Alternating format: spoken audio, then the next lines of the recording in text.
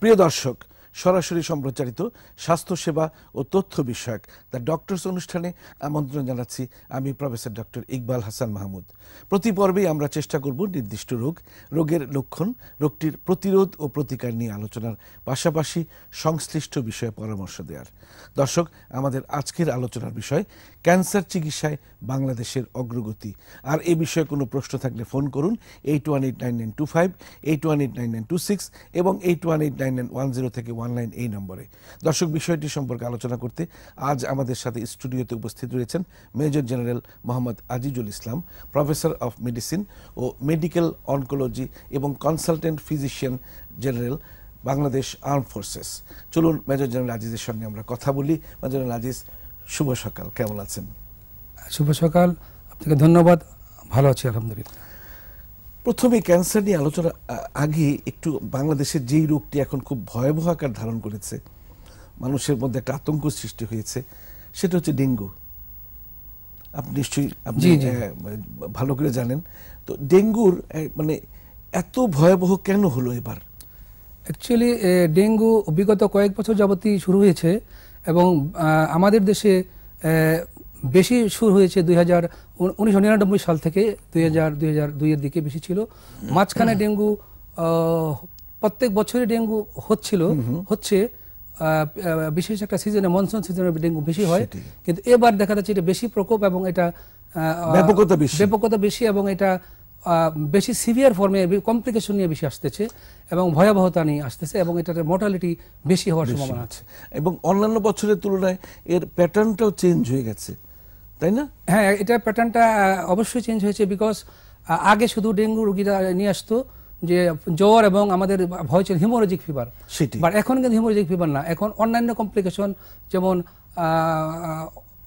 heart involvement lung involvement GI involvement brain involvement kidney involvement kidney involvement সমস্ত organ কম অর্গানের complication নিয়ে আজকে এখন রোগীরা আসে এবং এদেরকে ম্যানেজ করা একটু খুবই কঠিন কাজ এবং খুবই সতর্ক ম্যানেজ করতে হয়। কেন কঠিন কাজ কেন?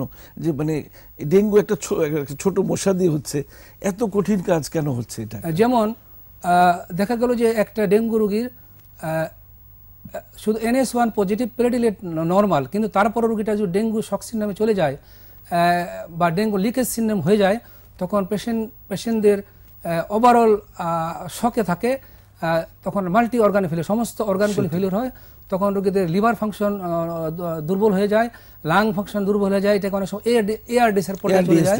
তারপরে এই তার এনকেফালোপ্যাথি হয় কার্ডিও মায়োকার্ডাইটিস হয় এবং দেখা গেছে যে অনেকে কনফিউশন করে হার্ট ডিজিজের মতো চিন্তা করব হার্টের চিকিৎসাও দেয়। তখন আমার চিকিৎসা দিলেও কিছু রোগীর উপকার অপকার হয়ে যায়। যেমন যদি আমরা হার্টের কথা চিন্তা করি যদি আমরা অ্যাসপিরিন দেই সেটা আবার রোগীর জন্য আরও ভয়ঙ্কর। আরও ভয়ঙ্কর হয়ে যেতে তো এই এই এই যে প্রথম দিকে কিছু বোঝা যেতে পারে যে এই রোগীটা খুব খারাপ দিকে কমপ্লিকেশনের দিকে যাবে এরকম ফেলিওর হবে। প্রথম দিকে কি কোনো বোঝার রাস্তা আছে কি অ্যাকচুয়ালি সবসময় প্রথম দিকে বোঝা যায় না বাট কিছু কিছু পেশেন্ট যারা খুব দ্রুত দ্রুত জ্বরের প্রথম দিকে দুই এক দিনের মধ্যেই যদি প্লেটিলেট অনেক কমে যায় এবং ব্লাড প্রেশার ফল করে যদি অ্যাসাইটিস ডেভেলপ করে পেটে পানি আসে লাংস শ্বাসকষ্ট হয় সেগুলি অনুমান করা যায় প্রগনোসিস খারাপ হতে পারে। মানে এই- অবস্থায় বসে থাকে বাসায় বসে থেকে সময় নষ্ট করার কোনো স্কোপ নেই। অজুহাত নেই বিকজ এরকম আমাদের কাছে অনেক পেশেন্ট আসে যারা আহ, কিছুদিন আগেও আমার কাছে একটা পেশেন্ট আসছিল চার দিনের মাথায় সে ডেঙ্গু পাওয়া গেল এটা ডেঙ্গু হেমোরেজিক ফিভার বাট উনি বললেন যে স্যার আমার কিছুদিন আগে আমার একটা ভাই মারা গে- আমার একটা ভাই মারা গেছেন বিকজ আমরা দুই দিন তিন দিন জ্বর মনে করলাম ডাক্তার কাছে না গেলে হবে ঠিক হয়ে যাবে। কিন্তু আলটিমেটলি বুঝতে বুঝতে পেশেন্ট বাসায় মারা গেল হ্যাঁ আমরা এখন একটু অনকোলজিতে মেইন সাবজেক্ট আমাদের যাব আর আমরা আশা করছি যে আমাদের দেশ থেকে যেমন ডেঙ্গু খুব তাড়াতাড়ি বিতাড়িত হয়। তো মেডিকেল অনকোলজি নিয়ে আপনি কাজ করছেন। আসলে মেডিকেল কি আর কি কি অনকোলজি ই আছে? তো ধন্যবাদ। অ্যাকচুয়ালি অঙ্কোলজি সম্বন্ধে আমাদের অনেকেই ধারণা নাই। বেশি মানে ভালো ধারণা নাই বলেই আমাদের দেশে অনেকটা এখনও অনেকটা গিয়েছে বাট এখনও পুরোপুরি ইন্টারন্যাশনাল স্ট্যান্ডার্ডের পর্যায়ে যায় নাই। বিশেষ করে ইউরোপিয়ান কান্ট্রি সিঙ্গাপুর এ দেশের তুলনায় এখন আমরা পৌঁছি নাই। তবে এটা পৌঁছার প্রয়োজন আছে বিকজ আমাদের অনেকের ধারণা নাই। যেমন অঙ্কোলজি মানে অঙ্কোলজি যে সাবজেক্ট যেটা ক্যান্সার নিয়ে ডিল করে। ক্যান্সার নিয়ে ডিল করা। অনেকে- ক্যান্সার। অনেকে ভাবছে যে অনকোলজি জি অঙ্কোলজি মানে ক্যান্সার এটা study of the cancer is oncology সেটি। সো সেখানে আমাদের মূলত ট্রিটমেন্ট যারা করেন এটা একটা মাল্টিডিসিপ্লিনারি অ্যাপ্রোচ করতে হয়। বিভিন্ন এটার সাথে ফিজিশিয়ান থাকতে হয় এর সাথে সার্জনও থাকতে হয় তার সাথে রেডিওলজি থাকতে হয় হিস্টোপ্যাথি থাকতে হয়। এটা একটা কম্প্রিহেন্সিভ টিম ওয়ার্কের মতো। টিম ওয়ার্কের মতো তো আর ভার্চুয়ালি ট্রিটমেন্ট করে সাধারণত তিনটা পদ্ধতি আমরা ট্রিটমেন্ট করে থাকি। যেমন surgery in the early disease then chemotherapy particularly. Medical অঙ্কোলজিতে পড়ে এবং রেডিওথেরাপি বা রেডিয়েশন অঙ্কোলজি যা রেডিওথেরাপি দিয়ে চিকিৎসা করে। বিকিরণ চিকিৎসা। এবং মেডিকেল অঙ্কোলজি অ্যাকচুয়ালি আমাদের দেশে বেশি এখনও মেডিকেল অঙ্কোলজি নাই বিকজ এই ব্যাপারে বিশেষজ্ঞ ডাক্তার নাই। বিকজ মেডিকেল অঙ্কোলজিস্ট আবার পেশেন্টের কিছু এডিশনাল কাজ করে থাকে বিকজ মেডিকেল অঙ্কোলজিস্ট ক্যান্সারের কেমোথেরাপির পাশাপাশি অন্যান্য চিকিৎসাও করে থাকেন। যেমন ধরেন diabetes mellitus hypertension ischaemic heart মানে এক- একজন ক্যান্সার রোগী যে শুধু ক্যান্সারই ভুগবে তার তো মানে নেই। তার ডায়াবেটিস থাকতে পারে উচ্চ রক্তচাপ থাকতে পারে হার্ট ডিজিজ থাকতে পারে। এগুলো কি মেডিকেল এইগুলি মেডিকেল অঙ্কোলজির কাছে গেলে আর আমরা অন্য কারও রেফার করি না। কিন্তু যদি অন্য কোনো ক্লিনিক্যাল অঙ্কোলজি এবং রেডিয়েশন অঙ্কোলজির কাছে যদি পেশেন্ট যায় তাহলে সেই পেশেন্টকে সাফার করতে হয়। সেই অন্য অনেক জায়গায় দৌড়ি করতে হয়। এটা একটা পেশেন্টের জন্য হ্যাসেল এবং এইটা আমাদের দেশে অনেকে ধারণা নাই। বাট শুধু তাই না অঙ্কোলজি অঙ্কোলজির বিষয়ে যারা ট্রেনিং করা সার্জারি হ্যাঁ। তাদেরও আমাদের দরকার আছে। এখন আমাদের দেশে মোটা- আহ, মোটামুটি ভাবে সার্জিক্যাল অঙ্গজে ট্রেনিং করা গাইনোকোলজি সার্জন আছে। আলাদা কিন্তু ইয়ে যদি যদি অঙ্কোলজির উপর ট্রেনিং না করা কোনো ডাক্তার কাছে যদি রোগীর চলে যায় তো সে রোগীগুলো ক্ষতিগ্রস্ত হতে পারে।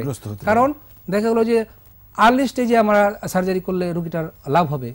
কিন্তু যদি স্টেজ ফোরে আমরা অপারেশন করি তাহলে লাভ হবে না। সেই জন্য যিনি সার্জিক্যাল অঙ্কোলজিস্ট সম্বন্ধে যার ট্রেনিং নাই উনি হয়তো বুঝবেন না রোগীটার কালান্তরে ক্ষতি হয়ে যাবে। ক্ষতি হয়ে যাবে। মানে সার্জিক্যাল অনকোলজিস্ট আলাদা আলাদা। আমরা আরও কথা শুনব মেজর জেনারেল আজিজ- আজিজ একটি বিরতিতে যেতে হচ্ছে।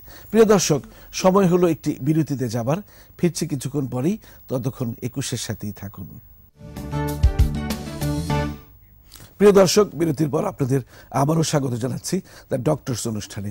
আমরা আলোচনা করছিলাম ক্যান্সার চিকিৎসায় বাংলাদেশের অগ্রগতি সম্পর্কে আর আমাদের আজকের অতিথি major general Azizul Islam. Major general Aziz বিরতির পর আবারও স্বাগত জানাচ্ছি। একটা প্রশ্ন আসে সবার মনের মধ্যে যে ক্যান্সার হয়েছে কিনা কীভাবে বোঝা যাবে? যদি অ্যাকচুয়ালি যে কোনো অঙ্গে হতে পারে ক্যান্সার। আপনাকে ধন্যবাদ। এটা একটা অত্যন্ত ইম্পর্টেন্ট এবং গুরুত্বপূর্ণ প্রশ্ন। এটা আমরা অনেকেরই প্রশ্ন আসে বাট এটার উত্তরটা আমাদের জানা দরকার। অ্যাকচুয়ালি অনেক সময় অনেক ক্যান্সার বোঝাই যায় না। সেটি। যেমন ক্যান্সার বিভিন্ন অর্গানে হতে পারে। যেমন লাং ক্যান্সার হতে পারে ব্রেস্ট ক্যান্সার হতে পারে স্টমাক ক্যান্সার হতে পারে প্রোস্টেট ক্যান্সার হতে পারে। বিশেষ করে breast cancer is one of the commonest cancer in the female global. মহিলাদের সবচেয়ে বেশি ক্যান্সার হলো ব্রেস্ট ক্যান্সার এটা কিছুটা আলামত পাওয়া যায় যদি কেউ যদি নিয়মিতভাবে ব্রেস্ট এক্সামিনেশন করে এক্সামিনেশন করে। যদি সে ফিল করে যে তার ব্রেস্টের কোথাও কোনো চাকা আছে এটা যদি সে নিজে নিজে এটাকে বলে সেলফ ব্রেস্ট এক্সামিনেশন সেটা করতে পারলে অনেক সময় বোঝা যায় এবং প্রথম দিকে ব্রেস্ট ক্যান্সার কোনো সিমটমই থাকে না শুধুমাত্র এই টিউমারটি থাকবে এটা কোনো পেনলেস ব্যথা হবে না। কিছুই সেটার পাবে না। কিন্তু এটা যদি সে প্রথম দিকে গুরুত্ব না দেয় আস্তে আস্তে যখন এটা একটু মানে আসে যখন এটা ছড়াতে শুরু করবে যখন লিম্ফ যাবে লাংসে যাবে সিমটমগুলো তখন দেখা দেবে। তখন সে কষ্ট আসবে। সুতরাং যেমন ব্রেস্ট ক্যান্সার প্রথম দিকে কিছুটা বোঝা যেতে পারে কিন্তু লাং ক্যান্সার দেখা গেল যে অনেক সময় বোঝাই যায় না। বোঝাই যাচ্ছে কারণ সে কাশি হবে যদি তার ব্রঙ্কাস ইনভলভমেন্ট হয়। যদি হিমোপ্রেস হবে যদি ব্রঙ্কাস যদি পেরিফেরাল লিশন হয় তাহলে কিন্তু তার কাশি জ্বর কিছুই হবে না। আর এগুলি তো মোটামুটি। সব ধরনের বক্ষব্যাধি যদি একই রকম হতে পারে টিবিতেও কাশির সঙ্গে রক্ত যেতে পারে তাই না? সেটি। এবং শুধু তাই না এবং ক্যান্সার মোটামুটি প্রথম দিকে অ্যাসিমটমি থাকে এবং যদি স্টেজ থ্রি ফোরে যতই অ্যাডভান্স তখনই শুধু সিমটম হয়। এই জন্য অনেক সময় ক্যান্সার বোঝা যায় না বোঝা মুশকিল।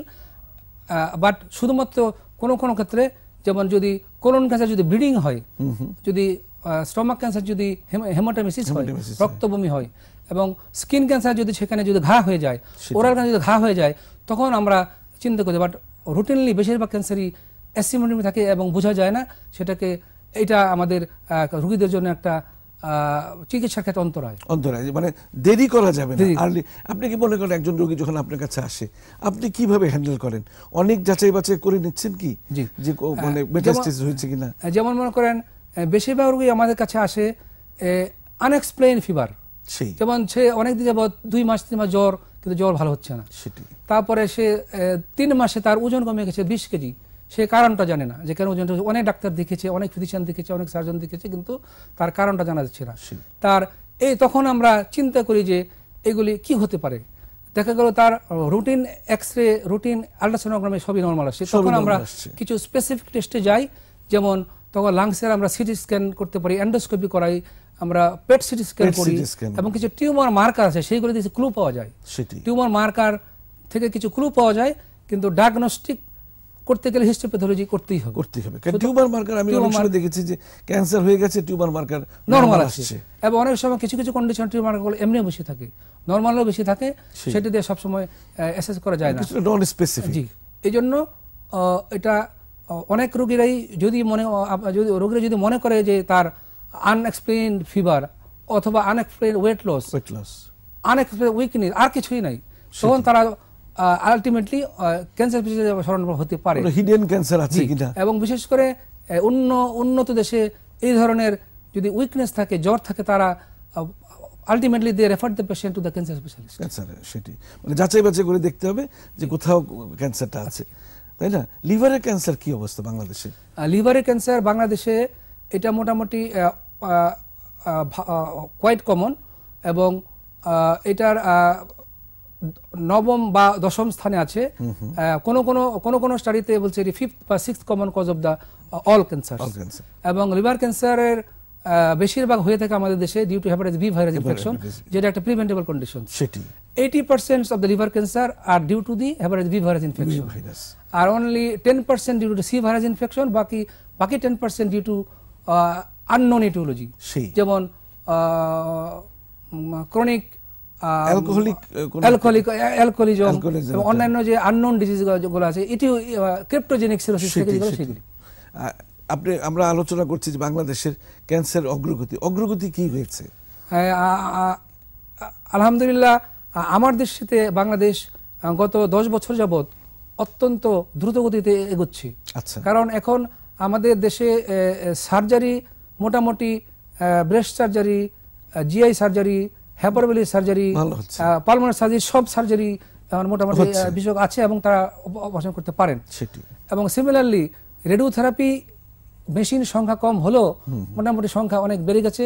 সরকারি লেভেলও তিন চারটা হাসপাতাল আছে এবং বেসরকারি লেভেলেও বেশ কিছু জায়গায় রেডিওথেরাপির স্কোপ আছে। আর কেমোথেরাপির স্কোপ তো আরও বেশি আছে বিকজ এক সময় আট দশ বছর আগে বাংলাদেশে কোনো ক্যান্সার ওষুধ তৈরি হতো না। এখন বাংলাদেশে অনেক বিভিন্ন যারা প্রায় তৈরি করে ইমিউনোথেরাপি ছাড়া। এখানে conventional chemotherapy hormone therapy target therapy এই ধরনের সবকিছুই অনেক এখন কিছু চলে এসেছে। শুধু ইমিউনোথেরাপিটা এখনও আমাদের আসে নাই। সেই ক্ষেত্রে আমি মনে করি আমাদের দেশে এখন ক্যান্সার চিকিৎসার অনেক অগ্রগতি হয়েছে। অগ্রগতি হয়েছে। এখন এখন মানুষের মধ্যে একটা প্রশ্ন হতে পারে যে কেউ হয়তো আপনি একদম সাজেস্ট করলেন প্রেসক্রাইব করলেন মানে কেমোথেরাপি। সে হয়তো ভাবছে আমি কেমোথেরাপি না নিয়ে আমি রেডিওথেরাপি নিব। এই এই এই যে একটা মনের মধ্যে একটা দ্বিধা এটা এটা একটু ক্লিয়ার করেন আমাদের এটা হলো যে যেগুলা আর্লি স্টেজ যদি যদি হয় সেটা যদি কোথাও যদি না ছড়িয়ে থাকে আমরা অপারেশন পরে যদি মার্জিনে ফ্রি করা থাকে তো সেই ক্ষেত্রে আমরা অনেক সময় শুধু যদি পেশেন্টের যদি এইজটা যদি বেশি থাকে তারপর পেশেন্ট যদি নিতে রাজি নাই হয় তখন আমরা তাকে আইডিওলজিকে যা ট্রিটমেন্ট কথা দেওয়ার কথা বললেও পরে পরবর্তীতে পেশেন্টের চয়েস অনুসারে শুধুমাত্র যদি রেডি হবে দিয়ে আমরা অনেক সময় ট্রিটমেন্ট করে করতে করে থাকি বিশেষ করে ইসোভেজেল কার্সিনোমা হেডনে কার্সিনোমা এগুলিতে সার্জারির পরে শুধুমাত্র রেডিওথেরাপি দিলেই আর্লি স্টেজে অনেক ক্যান্সার ভালো হয়ে অনেক ভালো হয়ে যেত বাংলাদেশে একটা খুবই কমন ব্যাপার বা সারা বিশ্বে যে মহিলাদের জ্বরের মুখের ক্যান্সার। এটারও তো একটা ভালো এখন ভ্যাকসিন চলে এসেছে ভালো চিকিৎসা হচ্ছে। এই ব্যাপার কি আপনার কাছে আসে জি? হ্যাঁ অবশ্যই। বিশেষ করে বাংলাদেশ ও গ্লোবালি এখন জরায়ু ক্যান্সারের একটা প্রধান কারণ হচ্ছে মনে করা হচ্ছে হিউম্যান পিপিলোমা ভাইরাস এবং এটার এগেন্সে কিন্তু অলরেডি অলরেডি ভ্যাকসিন চলে এসছে। এবং এটা আমাদের বাংলাদেশেও আছে এবং আমাদেরকে যারা আসে যারা এফোর্ড করতে পারে তাদের কিন্তু আমরা অলরেডি তিনটা ভ্যাকসিন অ্যাডভাইস করে দিয়ে অনেকে দিয়ে দিয়েছি। সুতরাং সেই হিসাবে এটা প্রিভেন্টেবল ডিজিজ অনেক ভবিষ্যতে হয়তো আমাদের সার্ভিক কার্সিনোমা জরায়ুর ক্যান্সার অনেকটা কমে যাবে। আর জরায়ু ক্যান্সার যদি আর্লি স্টেজে ধরা পড়ে যায় সেটা খুব ভালো প্রগনোসিস হয় এবং পার্টিকুলার শুধু সার্জারি করলে হয় অনেক সময় রেডিওথেরাপি লাগতে পারে। সেটি। এখন অনেক সময় দেখা যায় আমাদের আমি একজন চেস্টের ডক্টর অনেক সময় দেখা যায় যে নিউমোনিয়া ভুগছে। নিউমোনিয়া সারছে না। পরে অনেক পরে দেখা গেল ব্রঙ্কোস্কোপ আমি করে দেখি যে একটা বিগ মাস হয়ে হ্যাঁ। লিমনোড হয়ে আছে। ডিস্টাল টু লিমনোড একটা নিউমোনিয়া এই নিউমোনিয়ার ভালো হচ্ছে না। ঠিক আছে এটা ভালো প্রশ্ন করেছেন। এটা আমাদের ডাক্তার সমাজ অন্য সমাজে অন্যদেরও জন্য জানা দরকার। এটাকে বলে নন রিজলভিং নিউমোনিয়া সেই। নন রিজলভিং একটা অন্যতম কারণ হলো লাং ক্যান্সার লাং ক্যান্সার এই লাং ক্যান্সার তখন আমরা ইভালুয়েশন করা শুরু করি।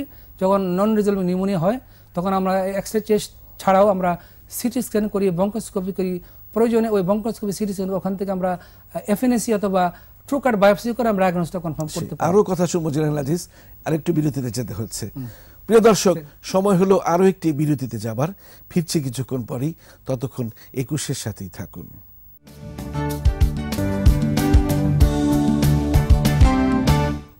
প্রিয় দর্শক, বিরতির পর আপনাদের আবারও স্বাগত জানাচ্ছি। আমি professor doctor Iqbal Hasan Mahmud, the doctors অনুষ্ঠানে আমরা আলোচনা করছিলাম ক্যান্সার চিকিৎসায় বাংলাদেশের অগ্রগতি সম্পর্কে আর আমাদের আজকের অতিথি major general Azizul Islam. Major general Aziz বিরতির পর আবারও স্বাগত জানাচ্ছি। আপনি একটু টাচ করেছেন যে ব্রেস্ট ক্যান্সার সারা বিশ্বের একটা বড় মহিলাদের মধ্যে একটা বড় ক্যান্সার জনিত মৃত্যুর কারণ।